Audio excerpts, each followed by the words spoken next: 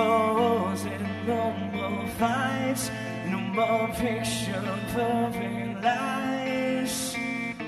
This is our time. You guys make some noise tonight!